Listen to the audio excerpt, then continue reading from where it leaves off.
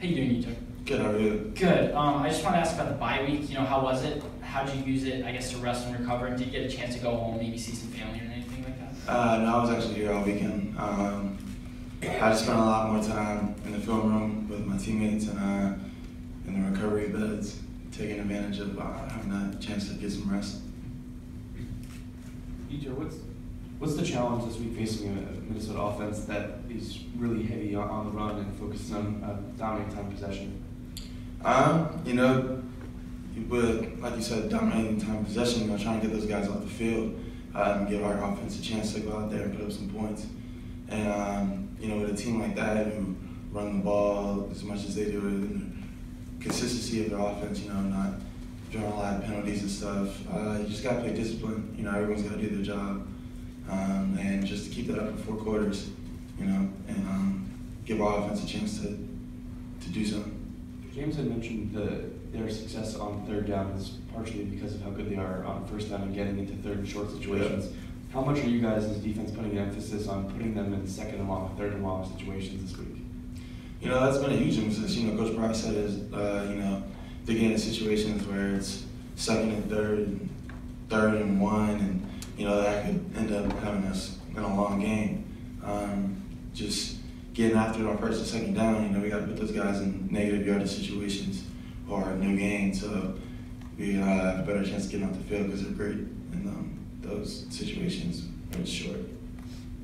Or uh, one of your teammates is in line, uh, PJ Mustipher, to get a lot more, well, I guess a little bit more playing time to get the start Saturday against Minnesota. So, um, you know, as one of his teammates, I'm just curious, first of all, if you had to describe him in one word, uh, what would it be? And, and where's the confidence in, the, in, this defensive line, you know, even with, you know, kind of a, a quote unquote new guy, um, yeah. you know, starting this weekend?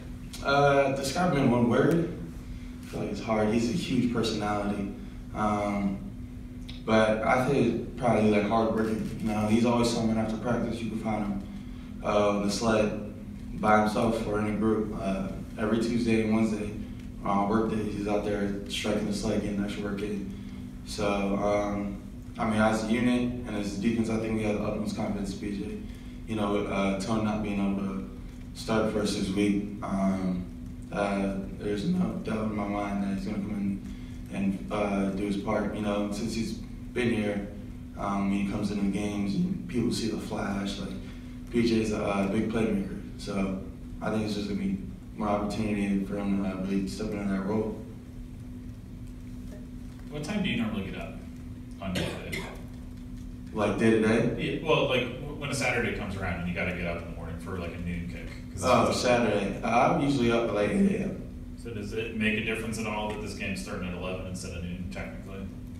Um, is it? I don't know what time we're waking up. I mean, I don't really think it's going to make much of a difference, honestly. Uh, go out there and treat it the same way.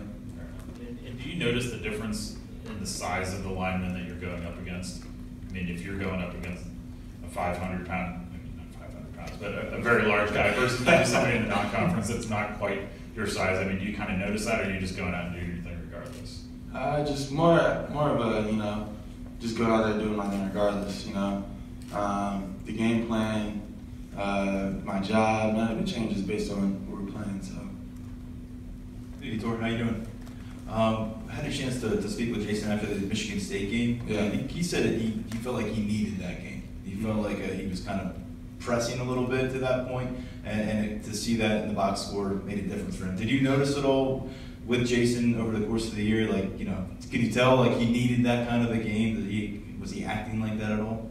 I don't think he was acting like it. Uh, maybe to himself, you know, his personal goals, whatever. But he approached practice the same way in terms of how he came uh, and worked out for the team. So, um, you know, I know he was really excited, real happy that uh, he was able to do what he did on that Saturday. It was a great moment for all of us, but uh, I couldn't tell when you go to the package that, that you slide inside and, yeah. and Jayson's opposite of Shaka, what does that front present to a defense, uh, to an offensive line um, in terms of the difficulty? Um, there's just a lot of speed coming from a lot of different places. So I think a lot of those lines um, real quick to uh, point out the protections um, and identify who's where. So Um, I would, I'm not too sure. When, and when you're inside, I mean, is it, is it, is it a comfortable thing for you? Is it Yeah, like um, something, if, if say, you know, knock on wood, there was some kind of injury and, and with Antonio already missing, is it a spot you could spend some extended time in rather than just like a special package? Uh, I spend time wherever Coach Spence needs me to play. All right. So it doesn't matter where it is on the line. Okay. No rush, everybody will get a question. I like it. Uh, Etor, we were asking Coach Franklin about the whole one and oh mantra and how it Yeah. seems like now you guys aren't just repeating it, you're kind of living it and embracing it. Was there a certain point where you felt like you took that on and weren't just reciting it, or you always? Uh, I'd say probably when I got back to school over the summer, uh, going into camp, and um, you know, I feel like there's something that really resonated with me when he was talking about how you know, it really makes a difference, and you know, teams they try to prepare differently um, based on what week it is and the opponent. And you pre- uh, you approach it all the same way. You know, like this is our championship. Like this is the week. You know, and with that mindset, I feel like creates a, a culture of winning. So. Was that kind of maybe difficult to do when you were younger and maybe you wanted to look ahead a little bit? Yeah, you know, like at first you um, get a place like this, uh, you know, you play in like the big, big name schools versus you know some of our other opponents. Um, I feel like it's more difficult then, but as you grow and as you fall into the um, just the awareness, like this is it, you know, this is what we're doing, um, and you just trust and believe in coaches. Uh, I think that's where. Will you even look at the college football playoff rankings tonight when they come out, or? No. Okay.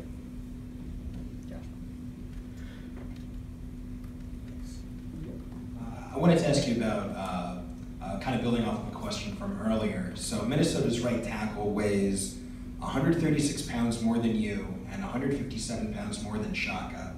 Have you ever faced a weight disparity like that, you know, in your career? And, and how do you go about, you know, beating someone on the line who is almost, you know, like essentially more than 50% of your body weight? Uh, I don't think I have, honestly, but um, it'll be a great task. You know, they have some pretty good players on that side. Um, but I don't think the approach is going to be any different. Um, you know, his job is to block me, and my job is to get around him. So we'll figure something out. How have you guys kind of seen Rasheed Walker develop here in the last year or so? Yeah, uh, I think the biggest growth with him was over spring ball. You know, at first it was obvious, you know, he's learning things and uh, stepping into like a new role. But I think his confidence from that point to the beginning of the season, the beginning of the season now, has just grown so much. Uh, I think he's grown into one of the better players on this team. Um, he's done absolutely, he's done a great job. I can't remember if it was you or Shaka in the one clip in the spring that they tweeted out. Guys, somebody beat him pretty bad. Um, did you guys razz him at all about that? I mean, because he's obviously held his own this year. I'm sorry, I didn't, I missed that. Yeah, you, there was a clip that was tweeted out in spring ball when he got beaten pretty bad either by you or Shaka. Um, did you guys let him hear that, or was it just? I mean, because he's obviously held his own this year. Um, I I didn't say a word to him about it. Um, you know, I, I you know everyone loses reps. You know, no one's gonna win every single rep. So uh, I don't think it really bothered him that much, or any of us. You know, he's gonna he's gonna win his battles um, sometimes and sometimes not. So. And are there ways that you think maybe you know you guys have helped him or can help him? Maybe pointing out specific things that other ends might try to do to him or anything like that. Um, anything he's had a question on, we've been pretty good about answering it. And, um, just going against him, you know, sometimes like, oh, this works, this works. And now it's more like, okay, now what works, you know? Because he's developed a lot, so. Last one for me, I promise. Um, what do you think the ceiling looks like for Micah Parsons? Because we're seeing more and more from him every week. Yeah. Um, the ceiling, I don't know. I don't know what that would look like for him. You know, every day he goes out there, you know, he, I feel like he surprises me more and more. So um, he's just someone who just keeps growing. You know, I think he's going to end up having a phenomenal career. Do you remember the Nike camp in New Jersey? You were there, and Micah was there, and Damien, he was kind of talking trash about how he was the the best DN. Do you recall that? Yeah. What- What was going through your head when you see this kid, because he's a little bit younger than you? Mm. Uh, actually, PJ Mustipher was there too, um, but it was just kids having fun. Um, and I, it was hard to like really imagine that we'd all be in this place at the same time uh, on a team like this. So, I mean, just to see like the dream come to fruition is it's incredible.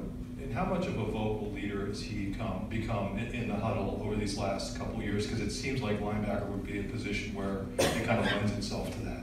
Yeah, uh, I think he's definitely growing more and more uh, as the years going on. You know, in the beginning he was a vocal leader still, but um, as the years go on, he's really he's really become more of a voice. Uh, last winter, Terry Smith compared uh, Adisa Isaacs to you. Um, he's a guy that we've quickly gotten to see play and burn his red shirt. What stands out about it, and, and do you see any similarities uh, from, from maybe where you were as a freshman to where he is right now?